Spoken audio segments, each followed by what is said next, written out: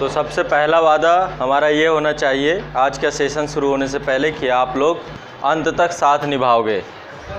ठीक है? ये नहीं रहेगा कि आप चार क्लास करेंगे और क्लास को बीच में छोड़ करके चले जाएँगे। ठीक है? जितने लोग भी अब साथ में जुड़ रहे हैं, आज से एक नया सेशन लेकर के मैं शुरू हो रहा हूँ। जिनको लग जाए 20 तक क्लियर कर लीजिएगा 20 के बाद कंटिन्यू मत करिएगा, जिसको 20 से ही हटना है, हट जाइएगा। 20 के बाद यदि आप कंटिन्यू कर रहे हैं तो आप रेगुलर रहिएगा। आधुनिक भारत की विषय वस्तु मैं शुरू कर रहा हूँ। मेरी ज़िम्मेदारी है कि इसको इसका इतना आसान बना दूँगा, मैं 45 दिन में इसे कंप्लीट कर दूँगा। 45 डेज़ ये मेरा टारगेट है, यदि नहीं हो पाएगा तो अलग बात है, लेकिन 45 दिन में काफ़ी हद तक आपको ऐसा हो जाएगा कि दिमाग में भर दूँगा मैं। ये मेरी ज़िम्मेदारी है। आधुनिक भारत इतना आसान और इतना रो, रोमांचक कर दूँगा कि आपको फिर इसको दोबारा कभी पढ़ने की ज़रूरत नहीं पड़ेगी। एक गारंटी और देता हूँ। आपको मैं किताबें ज़रूर बता दूँगा, लेकिन जितना मैं करा दूँगा, वो मेरी ज़िम्मेदारी है कि उसका एक एक क्वेश्चन आपके एग्ज़ाम में फंसेगा। चाहे आप मेंस कर रहे हो, चाहे आप ऑप्शनल भी दे रहे हो, चाहे आप पीटी दे रहे हो, कोई एक क्वेश्चन ना फंसे। आप आके मुझे ब्लेम कर सकते हो कि सर आपने पढ़ाया और मेरा टाइम वेस्ट किया आपने। इतने रिसर्च के साथ मैं आधुनिक भारत आपको पढ़ाऊँगा। एक टॉपिक एक सोर्स से लेकर नहीं पढ़ाऊँगा। कम से कम मैं आठ दस सोर्सेज से लेकर के आप लोगों को पढ़ा रहा हूँ। जो प्रॉपर मेरे पास नोट्स मैंने बनाए हैं खुद के, वो नोट्स आप लोगों के साथ साझा करूँगा डेली बेसिस पे। मेरे पास मटेरियल ज़्यादा रहेगा, इसलिए हो सकता है मैं क्लास को थोड़ा ड्यूरेशन ज़्यादा लूँ। ठीक है? लगभग लगभग प्रयास यही रहेगा ताकि जल्दी जल्दी चीज़ें हो जाएँ। तो पहला हमारा ये वादा होना चाहिए, जो लोग हमारे साथ रेगुलर अभी तक थे तो उनसे बड़ी मेरी ज़िम्मेदारी आप लोग की बनती है कि बीच में आप छोड़ के मत जाए कीजिए। आप लोग आधी क्लास करते हैं, आधी छोड़ देते हैं तो फिर अच्छा नहीं लगता। फिर ये हो कि छोड़ दें तो फिर छोड़ ही दें, फिर नेक्स्ट सेशन में मिले। ये चीज़ हमने बनाई भी है और ये चीज़ हम लोग फॉलो भी करेंगे, ठीक है?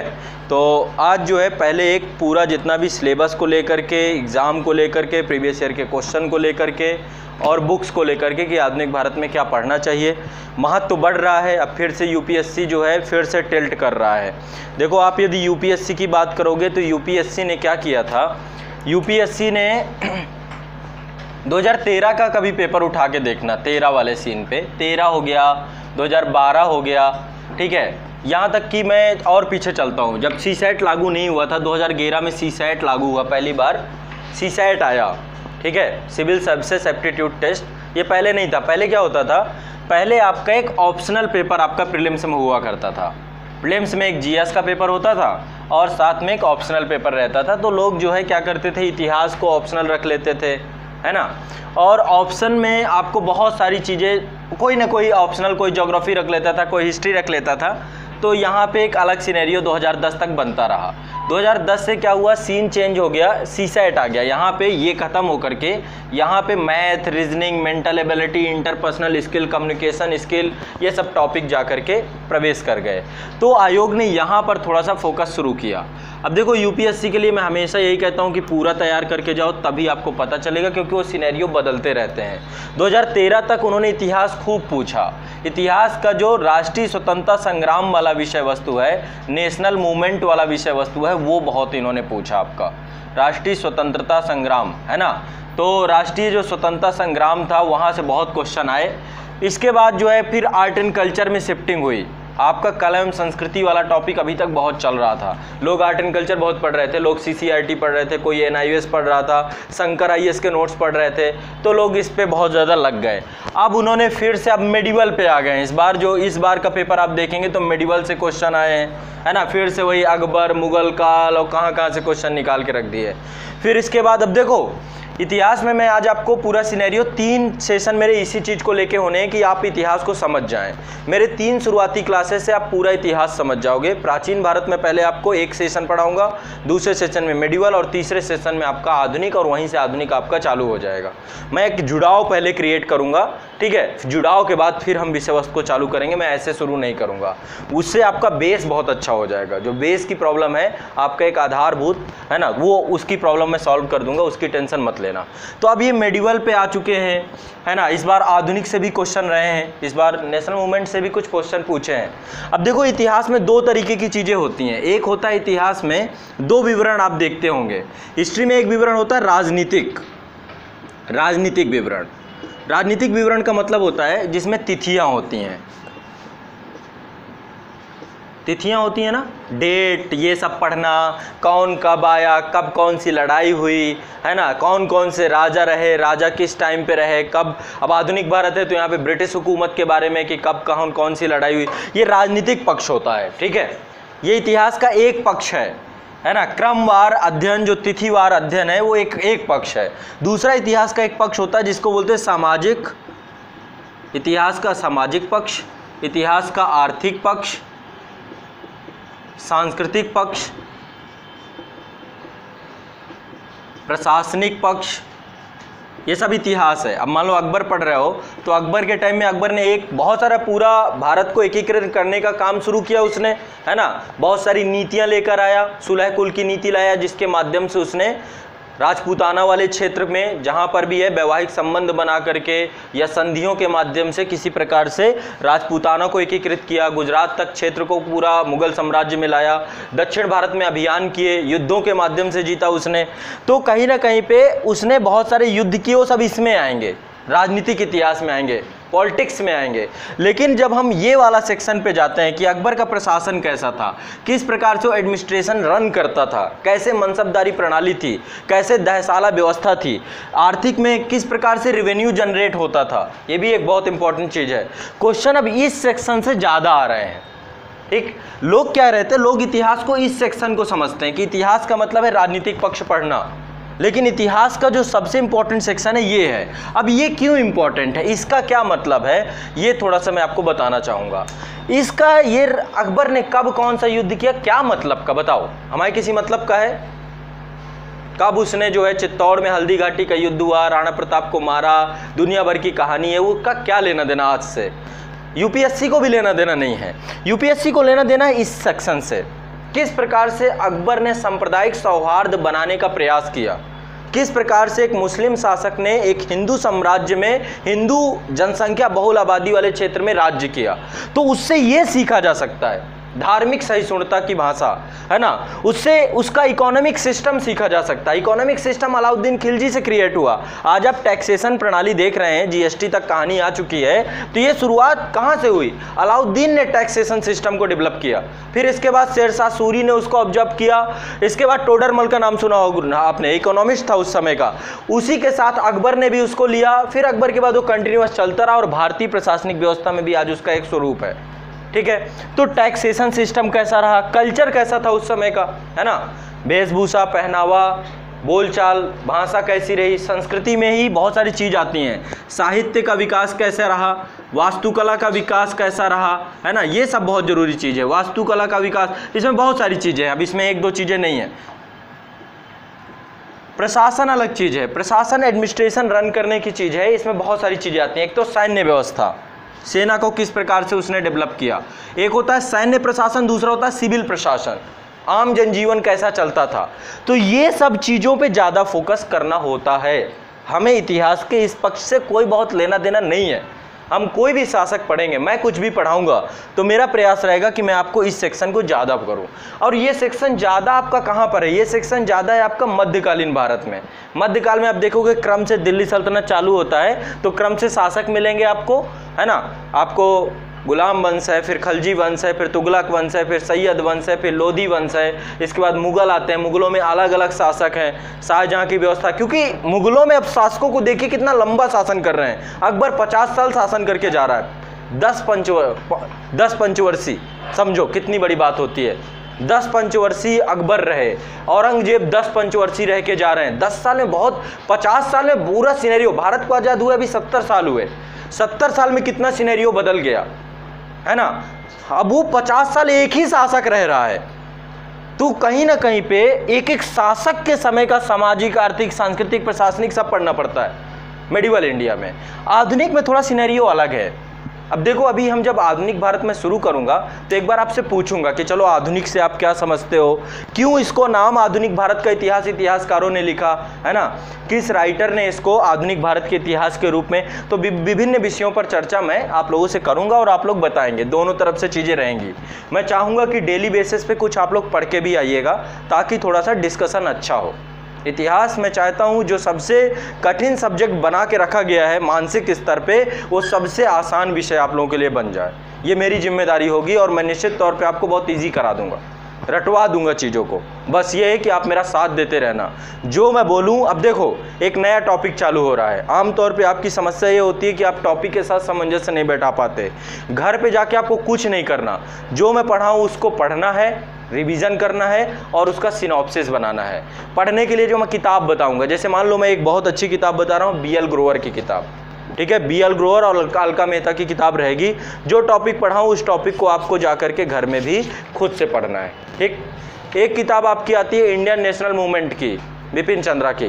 बिपिन चंद्रा ने एक किताब और लिखी है, जिसको भारत का इतिहास कहते हैं ओरिएंटेड ब्लैक स्वान की। ये किताब रखी हुई है। ये किताब। ये एन है क्लास ट्वेल्थ वाली।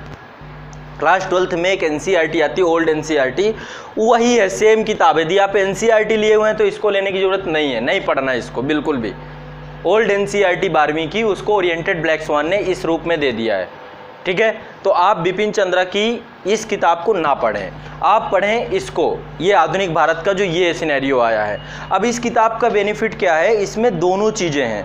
आपका फ्रीडम स्ट्रगल भी इन्होंने दे रखा है। ठीक है? तो अब सबसे पहले मैं पहले सिलेबस डिस्कस करता हूँ आप लोगों के साथ। आधुनिक भारत का ही सिलेबस डिस्कस किया जाए, फिर इसके बाद मैं आपको लिंकिंग प्रोसेस दूँगा पूरा। लिंक कराऊँगा प्राचीन भारत से आधुनिक भारत, यानी हम लोग आज की डेट तक आएँगे कि क्या क्या हुआ। बहुत फास्ट क्विकली करना पड़ेगा, इस पर ज़्यादा टाइम नहीं लूँगा। इसके बाद फिर सेशन को चालू करना होगा, ठीक है? तो सबसे पहले आ जाते हैं सिलेबस में, जो कहानी बिल्कुल बिगनिंग से चालू करनी है हमें। सबसे पहले हमारे पास होना चाहिए सिलेबस ठीक है? है सिलेबस किसी के पास? लाइए दीजिए, है मेरे पास तो है, चलो। सिलेबस से बहुत चीज़ें आपकी निकल के आ जाएँगी। सबसे पहले प्रीलिम्स के सिलेबस पे आते हैं पीटी में। पीटी में क्या लिखा है इन्होंने? पीटी में क्या लिखा है, इसको समझते हैं। प्रीलिम्स में आपका यूपी पीसीएस में तो डेढ़ सौ नंबर का पूरा पेपर है तो लगभग 22 से 23 क्वेश्चन आते हैं 25 30 तक भी आ चुके हैं। यूपी पीसीएस दे रहे हो तो एक चीज़ ध्यान रखना, बहुत अनिवार्य है, बहुत क्वेश्चन आएँगे आपके इससे। ठीक है, ध्यान रखना इतिहास यदि आपका कमज़ोर है तो आप यूपी पीसीएस का पीटी शायद क्वालिफाई नहीं कर पाओ। ठीक है? इसलिए यूपी पीसीएस वाले तो बिल्कुल अच्छे से आधुनिक भारत को बिल्कुल तैयार रखें, क्योंकि आधुनिक से क्वेश्चन ज़्यादा पूछता है। इसके अलावा जो यूपीएससी वाले हैं यूपीएससी में इन्होंने एक शब्द लिखा हुआ है यहाँ पे, दो शब्द लिखे हुए हैं। पहला लिखा हुआ है, भारत का इतिहास, बिल्कुल आसान भाषा में प्रिलिम्स में, और भारतीय राष्ट्रीय आंदोलन। यही बात यूपी यूपी पी वाले सिलेबस में लिखी है, यही एमपी में लिखी है बिहार में लिखी है, सब में लिखी है। बिहार में तो बहुत गंदा सिलेबस दिया। बिहार का सिलेबस देखा किसी ने? अभी बिहार का आ रहा है। पैंसठवीं का जा, शायद मेरे ख्याल से आएगा। और मैं चाहूँगा कि आप लोग भरिएगा भी कुछ है नहीं। लेकिन बिहार का सिलेबस कैसे डिज़ाइन किया, पता नहीं, आयोग ने आज तक उस सिलेबस को बनाने के बाद पढ़ा नहीं शायद। तो बहुत ज़्यादा सिस्टमेटिक सिलेबस नहीं है उनका। तो यहाँ पे ये दो शब्दों में लिखा हुआ है। तो दो शब्दों को डिफाइन करते हैं एक बार। पहले प्रीलिम्स को डिफाइन करते हैं फिर मैं मेंस में चलता हूँ। मेंस में समझते हैं कि मेंस में क्या है। फिर मैं पिछले साल के कुछ क्वेश्चन भी आपको दिखाऊँगा, जिससे आपको थोड़ा सा चैलेंज का पता चले कि चैलेंज है क्या। तो पहली बात रेगुलर रहेंगे ना? हाँ डर इसी बात का है। क्यों, जुबैर जी? हो पाएगी रेगुलरिटी क्योंकि दिक्कत यही है कि समस्या होती है कि बीच में लगने लग जाता है कि हाँ रेगुलर रहो तो ठीक है नहीं तो फिर जहाँ से आप गायब हो गए तो फिर गायब ही कर दिया जाएँगे। भारत का इतिहास पहला ये लिखा हुआ है। अब ये बहुत बड़ी आ, इसकी परिभाषा करना छोटी बात नहीं है तीन शब्द में नहीं है ये। और दूसरा इन लिखा है भारतीय राष्ट्रीय आंदोलन ये शब्द भी लिखा है इन्होंने। भारतीय राष्ट्रीय आंदोलन। आंदोलन। ठीक है? अब यहाँ पे आते हैं, भारत का इतिहास।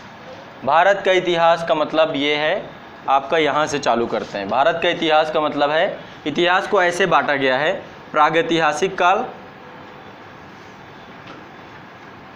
आद्य ऐतिहासिक काल,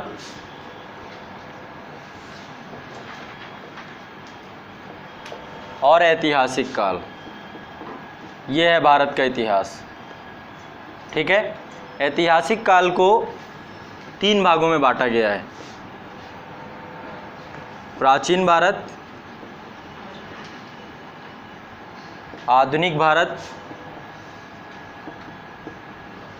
माफ़ कीजिएगा, मध्यकाल, क्रम से रखते हैं इसे, मध्यकाल, कालीन भारत, और ये है आपका आधुनिक भारत आधुनिक भारत, ठीक है?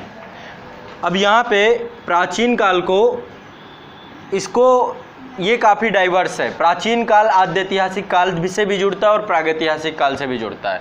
और ऐतिहासिक काल से भी जुड़ता है। ये तीनों से जुड़ता है प्राचीन काल। प्राचीन काल में आपका प्रागैतिहासिक काल आद्य ऐतिहासिक काल और ऐतिहासिक काल, ये तीनों आते हैं। ठीक है? ऐतिहासिक काल में मध्यकाल भी आता है, ऐतिहासिक काल में आधुनिक काल भी आता है। ठीक है? मध्यकाल दो भागों में बंटता है। मध्यकाल है आपका पूर्व मध्यकाल और उत्तर मध्यकाल या मध्यकाल? उत्तर मध्यकाल। अभी मैं सब आपको पूरा सिनेरियो आपका बिल्कुल क्लियर हो जाएगा। आधुनिक भारत दो भागों में बंटता है। आधुनिक भारत दो भागों में बंटता है। पहला है ब्रिटिश हुकूमत का भारत पर प्रभाव। ब्रिटिश हुकूमत मतलब यहाँ पर गवर्न करना जब से शुरू करती है। ब्रिटिश प्रशासन, ये लिख लेते हैं इसे। ठीक है? और दूसरा है आपका स्वतंत्रता संग्राम। स्वतंत्रता संग्राम, इसी में आता है। संग्राम, यानी कि ये वाला सेक्शन ऐसे इससे पूरा मिल जाता है। आधुनिक भारत में ही स्वतंत्र संग्राम आपका इंटर होता है। लेकिन इतने में इतिहास ख़त्म नहीं होता है। स्वतंत्रता संग्राम समाप्त हो जाता है उन्नीस सौ सैंतालीस में, आज़ादी के साथ ही। ठीक है? लेकिन भारत का इतिहास इसके आगे भी है। इसको बोलते हैं स्वतंत्रता के बाद भारत। स्वतंत्रता के बाद भारत। बाद भारत। ठीक है? इंडियन पोस्ट इंडिपेंडेंस ठीक है? और इसके बाद, स्वतंत्रता के बाद, भारत के बाद आपका नेक्स्ट सेक्शन आएगा। उसका नाम है करंट हिस्ट्री जिसको बोलते हैं समसामयिक इतिहास। अभी चल रहा है। समसामयिक इतिहास। इतिहास। ये है करंट हिस्ट्री करंट अफेयर्स है आपका। इतिहास में भी करंट अफेयर्स होता है। ठीक है? अब कोई कहे कि क्या इतना ही इतिहास है, इतना ही पढ़ना है तो मैं कहूँगा कि नहीं, और पढ़ना है। कला एवं संस्कृति भी इसी में जोड़ दीजिए। एक अलग से ही टॉपिक जोड़ दीजिए कला एवं संस्कृति। संस्कृति, ये करंट हिस्ट्री से जुड़ेगा। क्योंकि आज भी ये चीज़ें वर्तमान में उपलब्ध हैं। ये है करंट हिस्ट्री ठीक है? शाहजहां निपट गए, वो मध्य, वो मध्यकाल में थे। शाहजहां नहीं, लेकिन ताजमहल अभी है, ज़िंदा है करंट अफेयर्स में है। ताजमहल में कुछ भी घटित होगा तो हो सकता है फिर शाहजहाँ ज़िंदा हो जाए। है ना? वहाँ पे कुछ भी हो रहा होगा तो कहीं ना कहीं पे जो भी अभी आपके स्थापत्य हैं, कोई भी कल्चर है जो पुराना कल्चर ज़िंदा हो रहा है, उस कल्चर को आप करेंट हिस्ट्री के रूप पे रखेंगे। ठीक है? समय के साथ चीज़ें बदलती रहती हैं रिलेवेंट होती रहती हैं। बीच में अभी टीपू सुल्तान का मुद्दा उठा था। है ना? टीपू सुल्तान का मुद्दा हुआ उठा था थोड़ा सा, वो सांप्रदायिक थोड़ा सा रूप ले रहा था। तो कहीं ना कहीं भी यहाँ पर से भी उठा के रख सकते हैं। या फिर अभी हड़प्पा सभ्यता में मान लीजिए अभी आईआईटी खड़गपुर में रिसर्च चल रहा है। हड़प्पा सभ्यता कही जा रही कि आठ हज़ार वर्ष पुरानी है। तो क्वेश्चन क्या बन सकता है कि हड़प्पा सभ्यता का उद्भव, है ना? विश्व की सबसे प्राचीन सभ्यता के रूप में या उसका कालक्रम को लेकर बड़ा विवाद है, कैसा भी क्वेश्चन बन सकता है। तो करेंट हिस्ट्री भी एक बहुत इंपॉर्टेंट सेक्शन होता है। ये आपका सिलेबस का एक सेक्शन है, ठीक है? और भी है आपका सिलेबस। इसे ये है आपका भारत का इतिहास। इतना बड़ा है भारत का इतिहास का सेक्शन। इतना आपको भारत का इतिहास पढ़ना है। इतिहास का मैं महत्व भी बताऊँगा कि इतिहास से आप क्या कुछ सीखते हो। क्या इतिहास सिर्फ़ और सिर्फ़ तिथियों का अध्ययन है, या फिर इतिहास से और कुछ जाना जा सकता है? वो भी चीज़ें मैं अभी आपसे चर्चा करूँगा। इसके बाद एक सेक्शन आपका विश्व इतिहास जुड़ता है, जो आपका अलग है, लेकिन आपके सिलेबस में है वो टॉपिक वो हमारे द्वारा सफलतापूर्वक करवाया भी गया है। सारा का सारा टॉपिक आपका एक बार हो चुका है। आने वाले समय में जब होगा, तब देखा जाएगा। ये है पूरा सिनेरियो, आपका पूरा का पूरा सिलेबस में इतना है। ये पूरा इनका रोल कितना है? प्रिलिम्स में यदि रोल की बात करें तो प्रिलिम्स में रोल अब जो है बढ़ रहा है। फिर से अब इस बार से सिनेरियो देखा गया है। एक दो साल ये रहेगा कंटिन्यूस और। तो प्रिलिम्स में यूपी पीसीएस में रोल तो 25 से 30 क्वेश्चन का है। नंबर का नहीं है, क्वेश्चन का। 25 से 30 क्वेश्चन भारत के इतिहास से पीटी में आते हैं। जिसका ये पिलर कमज़ोर हुआ तो समझ लीजिए कि संकट में जा सकती है। ठीक है? गाड़ी उसकी गड़बड़ हो सकती है। क्योंकि पीसीएस में तीन या चार पिलर आपके बहुत अच्छे होने चाहिए। एक तो साइंस का पिलर। साइंस से आते हैं आपके 25 से 30 क्वेश्चन। दूसरा इतिहास का पिलर। यहाँ से भी आते हैं 25 से 30 क्वेश्चन। इसके बाद जो है, तीसरा पिलर आपका रहेगा उसमें पॉलिटी का। करंट छोड़ो। करंट एक ऐसा पिलर है जो हमेशा वेरिएट होता रहता है। करंट का कोई दायरा नहीं। करंट तो पढ़ना ही है हमें। वो तो अब इस बार करंट का देखो यूपीएससी में क्या हुआ? उस तरीके का करंट नहीं आया जो एक अभी पिछले 2016 से एक ट्रेंड चला था कि 55 55 क्वेश्चन आ रहे हैं 50 परसेंट प्लस हो जा रहा है करंट वो चीज़ खत्म कर दी उन्होंने। तो करंट तो आपका है ही, वो अलग चीज़ है। हम बेस की, ये एक ऐसा सेक्शन है जिसको एक बार तैयार कर लिया गया तो ज़िंदगी भर आपका है। करंट एक ऐसा सेक्शन है, इस बार का करंट अब अगले साल काम नहीं आएगा मेरे। आएगा क्या? नहीं आएगा ना। वो तो फिर अगले साल का मैं फिर अगले साल पढ़ूँगा। वो एक ऐसा सेक्शन है जो ज़िंदगी भर पढ़वाता ही पढ़वाता है।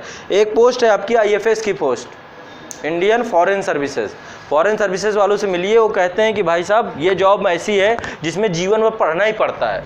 पहले तो भारत का इतिहास इतिहास हम सब पढ़ के गए, है ना? मैं आपको एक चीज़ बताता हूँ। आज आप जो पढ़ रहे हो ना, भारत का इतिहास, भूगोल है, दुनियादारी। कल की जब ट्रेनिंग में जाओगे, इसका कोई काम नहीं आएगा। ट्रेनिंग में इसका कोई लेना देना नहीं है। ये जितना सेक्शन है, ट्रेनिंग अलग ही होती है। ट्रेनिंग में ना इतिहास पढ़ाया जाएगा, ना भूगोल, ना पॉलिटी। आप खुद सोचो क्या, कि किस चीज़ का एंट्रेंस एग्ज़ाम इन्होंने लिया है। और जब ट्रेनिंग कर लोगे ट्रेनिंग के बाद पोस्टिंग होगी तो पोस्टिंग में देखोगे ट्रेनिंग में क्या पढ़ाया गया है। ट्रेनिंग का कुछ भी काम नहीं आएगा पोस्टिंग के बाद। और जो मैंने ग्रेजुएशन तक पढ़ा, वो मेरे काम नहीं आ रहा अभी कंपटीशन में। ग्रेजुएशन अभी आप पढ़ के आए हो ना, वो यहाँ काम नहीं आ रहा। फिर कह रहा है, फिर छठवीं किताब पढ़ो, फिर बारहवीं पढ़ो। फिर उसको नए तरीके से पढ़ो। तो इंडिया में क्या अभी आपने देखा होगा, राष्ट्रीय शिक्षा नीति, है ना 2019 उसमें बहुत सारी चीज़ें लेकर के डिस्कशन चल रहा है। उसने अपना जो है, अपना रिपोर्ट भी सौंपी है। तो हो सकता है कि अब आने वाले समय में शिक्षा को रोज़गार परक बनाया जाए, शिक्षा को कम्पिटेटिव एग्ज़ाम के परिप्रेक्ष्य में बनाया जाए। तो ये समान अध्ययन की विषय वस्तु में इतिहास का एक बहुत महत्वपूर्ण रोल है है ना? और इतिहास का महत्वपूर्ण रोल आप लोग, इसका मेंस में बहुत बड़ा रोल है। मेंस में यहाँ तक कि 250 नंबर का आपका मेंस होता है 250 नंबर का।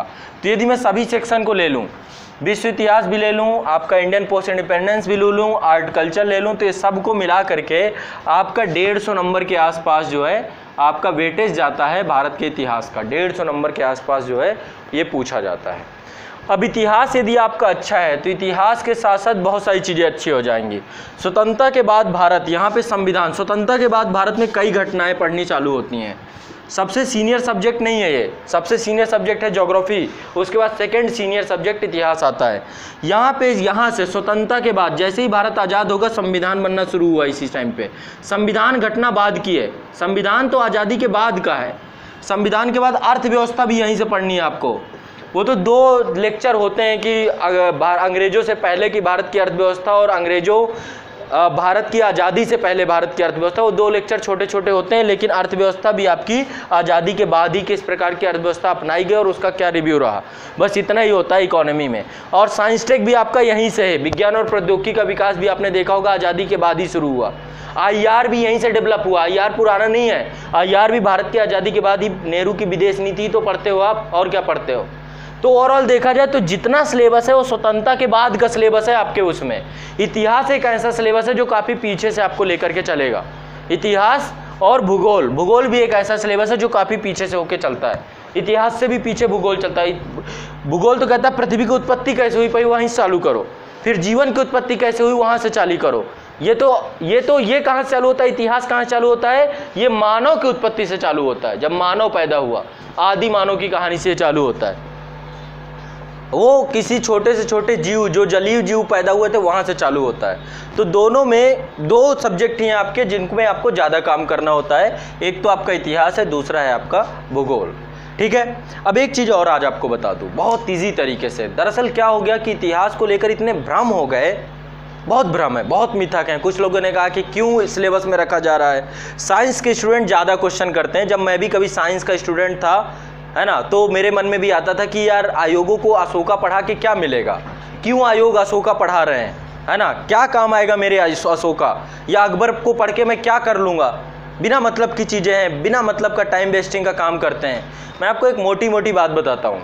आज आज अपनी लाइफ में आप जो बैठे हुए हो 25 साल के हो, आप 22 साल के हो, जो भी हो जिस उम्र के भी हो आप।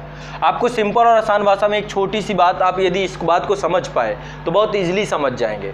25 साल में आप देखेंगे कि एक बच्चा आई भी बन जाता है। 25 साल में देख ले छः साल, सात साल में शंकराचार्य जैसे विद्वान भी भारत में पैदा हुए हैं। ठीक है? छः सात साल का एक बच्चा है, उसका क्या नाम है? कौटिल्य, पंडित, है ना? आज के टाइम पे उससे बात देखो, इस समय किस तरीके से। तो मुद्दा क्या है? मुद्दा इतिहास का आता है यहाँ पे। मुद्दा इतिहास का कैसे आता है? 25 साल में आपने इनपुट क्या दिए अपने आप को? मोस्ट इंपॉर्टेंट बात यह है, यदि आज तक आपने कुछ नहीं सीखा तो थोड़ा सा आप अपने इतिहास में जा करके झाँक सकते हो।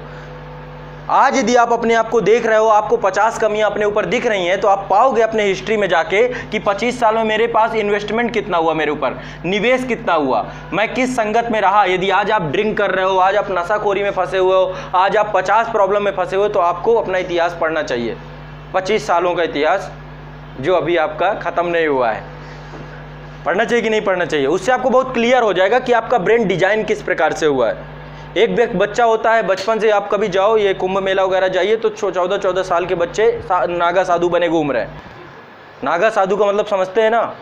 इतनी से उम्र में ही उसने अपने आप को सांसारिक मोह माया से बहुबंधनों से छोड़ दिया। तो मुद्दा ये है कि आपका हिस्ट्री कैसा रहा आपका परिवेश कैसा रहा? कैसे अपने आप को डिज़ाइन किया आपने?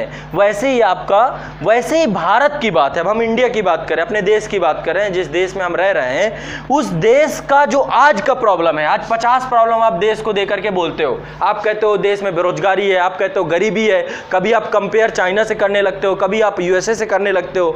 पचासों जगह से तो आप कंपेयर करते हो ना। तो वो कंपेयर जो आप करते हो ना, उस कंपेरिजन में थोड़ा सा आप यदि अंदर जाओ। गहराई में। तो आप खुद पाओगे कि पहले अपने देश का एक बार इतिहास तो पढ़ो कि ये इतिहास कंपेयर करने लायक है भी किसी से कि नहीं है। वो तभी पता चल पाएगा। अब मेरे देश में जितनी भी प्रॉब्लम है, आज चलो बेरोजगारी है हमारे देश में। ठीक है? आज गरीबी है हमारे देश में। आज सांप्रदायिकता का माहौल है है ना? दो धर्मों के बीच में आपस में संदेह है एक दूसरे को प्रति लेकर के। आज हमारे देश में पचासों समस्याएँ हैं। महिलाओं की समस्याएँ महिलाओं की स्थिति को देख रहे हैं। आपको यदि इन समस्याओं का समाधान ढूंढना है तो यदि आप आज ही में टिके रहेंगे तो आप इन समस्याओं का समाधान कभी नहीं ढूंढ सकते पूरी ज़िंदगी भर। आपको भारत की अर्थव्यवस्था समझनी है तो आपको भारत के इतिहास को जा करके देखना पड़ेगा कि मेरे देश का इतिहास कैसा रहा है, किस प्रकार से, किस स्थिति पे कैसे मोल्टेड होते रहे। तब जा करके आज हम इस सिचुएशन में खड़े हैं। तो इतिहास मोस्ट इंपॉर्टेंट चीज़ है। इतिहास को आप तिथि क्रमवार अध्ययन मत पढ़िए। इतिहास को मैं बड़े आसान भाषा में बताता हूँ। इतिहास है समाधान। अब मुझे खुद बताइए, आपने जब अपने 25 सालों का इतिहास पढ़ा, कि 25 सालों में मैं थोड़ा देखता हूँ कि मैंने अपने लाइफ में क्या इन्वेस्टमेंट किया मैं कितने बजे जगता हूँ, कितने बजे सोता हूँ, कितने बजे उठता हूँ, उस हिसाब से मेरी बॉडी कैसे बनती चली जा रही है? मैं क्या खाना खाता हूँ, उस हिसाब से मेरी बॉडी कैसे रिएक्ट कर रही है? है ना? मेरा ब्रेन कितना ग्रो कर रहा है, मैंने कितना उसको इनपुट दिया है? तो जब ये सब कुछ अध्ययन करोगे, अध्ययन करने के बाद आपको लगेगा कि अब इसको चेंज करना चाहिए। यानी कि समाधान आपके इतिहास से निकल के आएगा। आपको पता चलेगा कि आपने ये प्रयोग किया था, जिसका रिज़ल्ट आज मेरे सामने ये रखा हुआ है। तो जब आप देश की आज की समस्याओं का समाधान खोजने निकलोगे और भारत के इतिहास को पढ़ोगे तो वर्तमान समस्याओं का समाधान भी निकल के आएगा। इसीलिए मैं कहता हूँ, इतिहास इतिहास नहीं है, बीता हुआ कल नहीं है, इतिहास आज का समाधान है। जो व्यक्ति भारत के इतिहास को नहीं समझता, भारत की वर्तमान समस्याओं का समाधान भी नहीं कर पाएगा। वो बहस करेगा बस। बहस किस चीज़ की लेकर करेगा? कहेगा, महिलाओं को ये हो रहा है, महिलाओं को ये समस्याएँ अरे एक बार इतिहास में जाओ तो वर्ण व्यवस्था को लेकर जाति प्रथा को लेकर के, इन सब चीज़ों को लेकर दुनिया भर की बात करेगा। आरक्षण जैसे इशू पे खूब लड़ पड़ेगा। लेकिन क्योंकि उसने कभी इतिहास पढ़ा नहीं, इतिहास का छात्र रहा नहीं तो इतिहास के छात्र के तौर पे एक बार आपको, यदि आप इन चीज़ों को समझेंगे तो वर्तमान समस्याओं को समझने में एक पल नहीं लगेगा आपको। एक सेकंड में समझ जाओगे कि सब प्रॉब्लम का सोल्यूशन क्या है। समझ रहे हो मेरी बात? तो इसलिए यदि सबसे इंपॉर्टेंट चीज़ कोई होती है तो आपका अपना इतिहास होता है। आपके अपने, आज आपके साथ जो पचास प्रॉब्लम है, आप जाके बैठिए, देखिए, सोचिए कि आपके पिताजी ने आपको क्या दिया? पिताजी के पिताजी ने उनको क्या दिया? पुरखों ने क्या दिया? जिनके पुरखों ने कुछ दिया, वो कैसे समाप्त हो गया? तो इतिहास आपको जानना पड़ेगा। है ना? हमारे पुरखों ने हमें क्या दिया और कैसे हम उसे संजो के चले? तो जब तक आप इसको नहीं समझेंगे, तब तक आप उसकी इज़्ज़त नहीं करेंगे चीज़ों की। दरअसल आज हम आज़ाद, सौभाग्य की बात है कि एक आज़ाद देश में पैदा हुए हैं। देश की वैल्यू हमें नहीं पता है कंट्री की कीमत नहीं पता है। हम छोटे छोटे मुद्दों को लेकर के कंट्री का अनरिस्पेक्ट करते रहते हैं। कभी कहते हैं, भारत छोड़ दो, भारत में नहीं रहना है। थोड़ा सा टैक्स यहाँ पे बढ़ा दिया है तो टैक्स को लेकर के हम गाली गलौज करने लगते हैं टैक्स चोरी करने लगते हैं। लेकिन जिन लोगों ने देश को आज़ाद कराया, मान लो आज वो होते उन लोगों ने, मान लो, एक 21 साल का लड़का फांसी में लटकने को तैयार था तो उसका क्या हित रहा होगा? क्या हित रहा होगा? भगत सिंह का क्या हित था कि भाई मैं देश के लिए मर मिटूँगा? उसका क्या, उसका फला रहा होगा, बताओ। कुछ भला रहा होगा कि मैं अपने, मेरे परिवार वालों को कुछ दर्जा दे दिया जाएगा, ये कर दिया जाएगा? गांधी ने यदि वकालत की सर्विस छोड़ी तो गांधी का क्या हित रहा होगा? गांधी को पता था कि आगे चल के नोटों में मेरी फ़ोटो लगेगी, इसलिए मैं आज वकालत की सर्विस छोड़ करके। घर द्वार छोड़ करके। मुद्दा इस बात का है, यदि आप अपने इतिहास को नहीं जानोगे, नहीं समझोगे तो ना तो अपने देश का रिस्पेक्ट कर पाओगे और न देश की समस्याओं का रिस्पेक्ट कर पाओगे, ना समझ पाओगे। इसलिए हमें अपने देश के इतिहास को बड़े बड़े संवेदनशीलता के साथ पढ़ना होता है। यही एक विषय है जिसको आप बड़ी संवेदनशीलता के साथ पढ़ सकते हैं और समस्याओं को निकाल सकते हैं। ना मुझे अशोका इसलिए पढ़ना कि अशोका ने क्या किया, कितना युद्ध किया, क्या किया। मैं सिर्फ़ अशोका से कुछ ढूंढना चाहता हूँ। रिसर्च करना चाहता हूँ कि वर्तमान के लिए अशोका कुछ ऐसा मुझे दे दे कि मेरे देश की आज की प्रॉब्लम सॉल्व हो जाए। तो मेरे लिए अशोका रिलेवेंट है, नहीं तो किसी काम का नहीं अशोका। मुद्दा इस बात का है। तो इतिहास आपको इस दृष्टिकोण से कभी नहीं पढ़ना चाहिए कि इतिहास आपको जो है चार नंबर दे देगा छः नंबर दे देगा, चार तिथियाँ पढ़ लेंगे। है ना? जब आप एक बार नादिर शाह को पढ़ोगे तो आप खुद देखोगे कि यार मुगल साम्राज्य में जब मुगल औरंगज़ेब की मृत्यु होती है, मृत्यु के बाद मौका मिला मुगल साम्राज्य को फिर से रिवाइव करने का। लेकिन मौका खो दिया। आप अपने घर की स्थिति देख सकते हो। घर में क्या होता है? बाबा दादा की बहुत ज़मीन जायदाद है। लेकिन घर में एक लड़का खराब निकल गया। सारी ज़मीन जायदाद का कोई मतलब नहीं रहता है। सब चार पे जो सारी का सारी ज़मीन जायदाद वो दारू में पी जाता है। दारू के साथ मिला के डेली एक एक ढक्कन, एक एक ढक्कन ख़त्म। आपके लिए कुछ नहीं बचा। है ना? एक बच्चा यदि जुआ खेलने वाला निकल गया, मुगल साम्राज्य में ऐसे ही मोहम्मद शाह रंगीला का जन्म हो गया। अब रंगीला तो रंगीला था। तो वो कहीं ना कहीं पे आपको इतिहास में बहुत कुछ सीखने को मिल सकता है। लर्निंग प्रोसेस आपको सारी समस्याओं का समाधान एक एक सामाजिक, आर्थिक, प्रशासनिक, सांस्कृतिक, हर चीज़ मुद्दे को आप सीख सकते हो। लेकिन मुद्दा क्या है? इतिहास को एक ऐसे सब्जेक्ट के रूप में प्रेजेंट किया गया है, या मैं कहूँ कि एक षडयंत्र किया गया है इतिहास के साथ, कि इतिहास को सीधा जो है नेग्लेक्टेड कर दिया गया मुख्य धारा से। ऐसा ये एक बहुत बड़ा दुर्भाग्य है हमारे देश का। जो सबसे इंपॉर्टेंट चीज़ होनी चाहिए, जो विषय वस्तु अनिवार्य होनी चाहिए, उस विषय वस्तु को मुख्य धारा से खत्म करने का काम किया गया ठीक है? तो चलो, मुद्दा ये नहीं है, मुद्दा ये है कि आप लोगों को इतिहास इस दृष्टिकोण से पढ़ाया जाए ताकि आप लोग जो है एग्ज़ाम में अच्छा परफॉर्मेंस कर पाएँ और थोड़ा सा मेरे हिसाब से कि आप उसको तर्कशीलता के साथ समझ पाएँ। है ना? सिर्फ़ ये ना रहे कि चार तिथियाँ पढ़ के हम निकल गए। एक को पर्सन पढ़ाऊँगा, बंग बंगा यंग बंग, बंगाल आंदोलन। पर्सन का नाम सुना होगा आपने? किसने किया? हाँ? हाँ डेरेजियो। एक ऐसी पर्सनालिटी अब कितना छोटी उम्र का बच्चा। है ना? 25 साल में उसने क्या से क्या कर दिया? कितना बड़ा वो साहित्यकार भी निकला, कितना बड़ा क्रांतिकारी निकला, कितना बड़ा उसने एक इन्वेंशन करके चला गया। तो आप बहुत प्रेरणाएँ ले सकते हो इतिहास से। ठीक? चलो, ये मुद्दा अलग है। इस मुद्दे में आप लोग, यदि इतिहास से प्यार नहीं करते तो मैं आपको बस यही सलाह दूँगा कि इतिहास से प्यार करिए। और मेरे साथ रहिए तो मैं प्यार करना सिखा भी दूँगा, कोई बहुत बड़ी चीज़ नहीं है। तो आपका जो सिलेबस है, सिलेबस बड़ा अस्पष्ट टाइप का है है ना? और आयोग क्यों स्पष्ट करेगा? आयोग तो हमेशा चाहता है कि कुछ इस तरीके का सिलेबस बना के रखा जाए, जिसमें कभी कोई चीज़ स्पष्ट ही ना हो, ताकि कोई भी क्वेश्चन पूछ दिया जाए तो बोल तो दिया जाए, सिलेबस में तो है है ना? तीनों ने थोड़ा सा मेंस में काम किया है। मेंस में चार छः बातें नई लिखी हैं, थोड़ा सा इसको भी समझते हैं कि मेंस में लिखा क्या है। मेंस में आपका पेपर टू है वैसे। पहला पेपर एसे का होता है, ठीक है? दूसरा पेपर होता है आपका जर्नल स्टडी समान अध्ययन शुरू होती है पूरी सीरीज़ समान अध्ययन पेपर वन समान अध्ययन पेपर टू समान अध्ययन पेपर थ्री समान अध्ययन पेपर फोर है ना? तो समान अध्ययन पेपर वन और यूपीएससी का पेपर टू इतिहास की विषय वस्तु शुरू होता है। जब आप पेपर देने जाओगे तो सबसे पहले ऊपर के क्वेश्चन जो आपको मिलेंगे जीएस में, वो इतिहास से मिलेंगे। इससे इसका महत्व तो समझ सकते हैं आप कि शुरुआती यूपीएससी इतिहास से कर रहा है। ठीक है? सबसे ऊपर उसने इतिहास को रखा है। पहला ही प्रश्न पत्र इतिहास का रख दिया है कि बच्चों को इतिहास पढ़ना बहुत अनिवार्य है। पहला पेपर रहेगा तो लोग बिल्कुल पढ़ के आएँगे, इसलिए इतिहास को यहाँ रखा गया है। अब समझ सकते हो इतिहास कितना इंपॉर्टेंट सब्जेक्ट होगा। हल्के मत लीजिए इस सब्जेक्ट को। इसका एक महत्व है इसलिए पूरा एक सीक्वेंस बनाया गया हर चीज़ का। हर चीज़ का सीक्वेंस है। ठीक है? तो यहाँ पे आपका इन्होंने टॉपिक है, ढाई सौ नंबर का यूपीएससी और 200 नंबर पीसीएस इसी प्रकार से एमपी वगैरह में भी आपके ऐसे ही पूछता है। एमपी में भी सब अलग अलग है, सबका देख लीजिएगा। सब में सेम सिलेबस हो चुका है। तो यहाँ पे आपका पूछ रहा है टॉपिक दिया है, भारतीय विरासत और संस्कृति, विश्व का इतिहास, भूगोल और समाज। ये आपके पूरे प्रश्न पत्र का टॉपिक है। हमें क्या पढ़ना है? हमें पढ़ना है संस्कृति वाला टॉपिक मैं बता चुका हूँ। मैं आधुनिक भारत के इतिहास पे आता हूँ।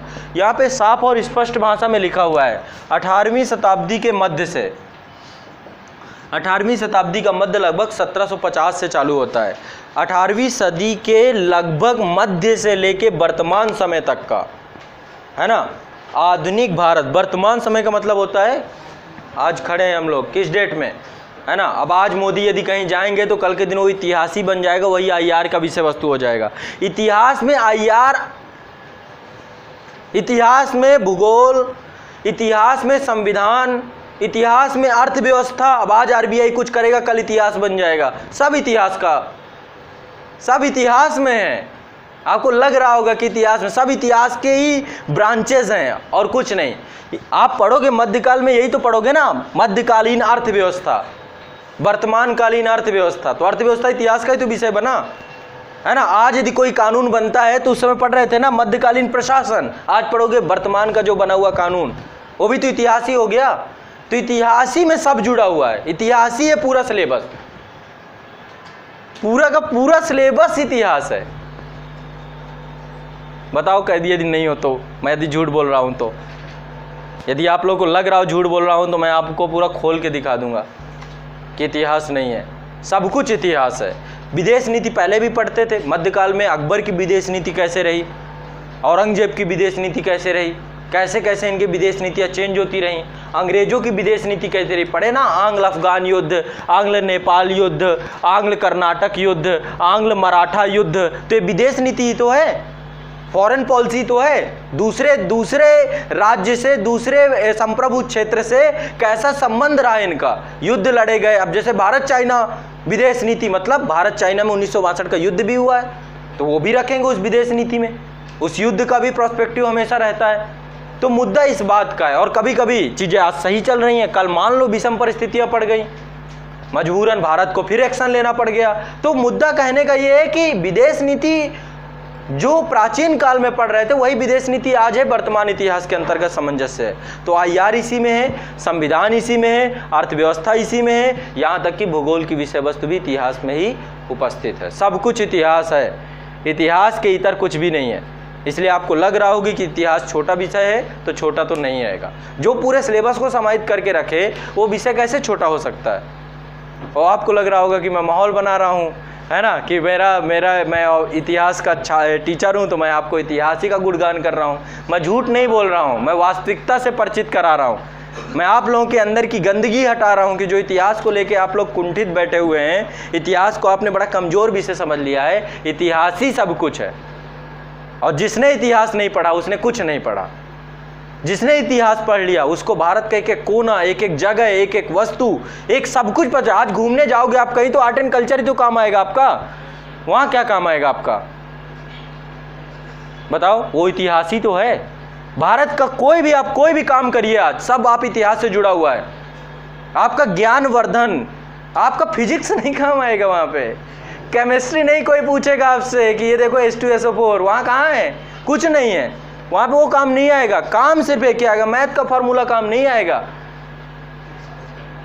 तो इसलिए यदि आपको लगना है कि आप जो है कल के दिन किसी के सामने, है ना, कल मान लो विवाह हो जाता है है ना, विवाह के बाद घूमने टहलने जाते हैं तो घूमने टहलने के बाद अपने ज्ञान का जो आप प्रसारण कर पाएँगे फिजिक केमिस्ट्री से नहीं कर पाएँगे। वो अपने छात्रों को पढ़ा रहे होंगे तो कर देंगे। घर में यदि प्रभाव जमाना है तो इतिहास पढ़ना पड़ेगा। क्यों, मोहन जी? ठीक है ना? इनका इतिहास ही कमज़ोर है। तो इस समय बेचारे यहाँ बैठे, संस्कृत से कुछ नहीं होगा, वो तो कम्युनिकेशन की लैंग्वेज है। वो तो भाषा है। हाँ? हाँ तो हर जगह जाना है, कि इतिहास बताना है। अब जैसे मैं जाता हूँ, मेरी अभी कई बार फैमिली अभी यहाँ दिल्ली घुमाने ले गया। चार जगह बस खड़े हो जाके चार चीज़ें बताना शुरू कर दिया तो खुश हो जाते हैं। अरे यार, बड़ा जानता है बच्चा। पता कुछ ना हो, लेकिन ये है कि इतिहास पता है हमें। इतिहास पता है तो सबको लगता है, अरे, बड़ा जानकार है भाई। कहीं से भी निकले, मान लो झांसी से निकले हैं नदी पार के हिंडन नदी का इतिहास बताना शुरू कर दिया कि देखो भारत की आज़ादी में इस नदी का कितना योगदान है। खुश हो जाते हैं, अरे बहुत जानकार है ये, बड़ा ब्रिलियंट लड़का है। तो मुद्दा इस चीज़ का है, यदि आप इतिहास के अच्छे जानकार हैं तो हर जगह आप पूजे जाएँगे, क्योंकि लोगों को रुचि होती है जानने की। समझ रहे हैं?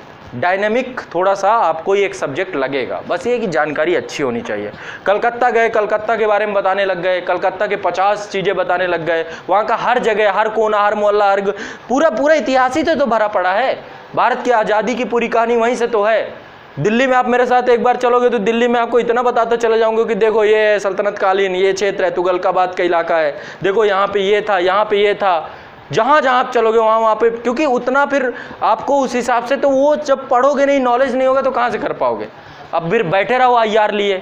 हम थोड़ा ना चाइना जा रहे हैं कि भारत चाइना संबंध वहाँ पढ़ाएँगे देश में यदि आपको कुछ चीज़ें बतानी है तो इतिहास पढ़ना पड़ेगा। ठीक है ना? हाँ तो ये यूपीएससी ने इसीलिए सबसे ऊपर रखा है इतिहास विषय वस्तु को। पहला ही सब्जेक्ट बना दिया इतिहास को। ठीक है? तो चलिए, इसमें आपका दिया है अठारहवीं सदी के लगभग मध्य से लेके। अठारहवीं सदी के लगभग मध्य। और इतिहासकारों ने भी क्या कर दिया है? 1707 के बाद मध्यकाल को समाप्त घोषित कर दिया है कि यहाँ से मध्यकाल समाप्त हो जाता है। 1707 के बाद औरंगज़ेब जैसे निपटे अहमदनगर के किला में, वैसे ही ये बोल दिया गया कि उत्तर मध्यकाल आपका समाप्त हो गया। ठीक है, पूर्व मध्यकाल कब से कब तक रहता है? सातवीं सदी से जब यहाँ पे मोहम्मद बिन काशिम आया से लेकर के 1100 या 1200 मान लीजिए 1205 तक, मोहम्मद गौरी के निपटने तक। जैसे मोहम्मद गौरी निपटा, बोले पूर्व मध्यकाल खत्म, उत्तर मध्यकाल चालू हो गया, दिल्ली सल्तनत की स्थापना कुतुबुद्दीन ऐबक ने कर दी।